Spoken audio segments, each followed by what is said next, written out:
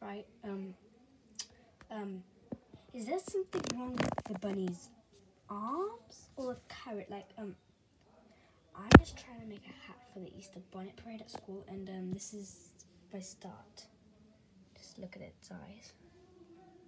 But like the arms, the carrot. Can somebody please explain to me?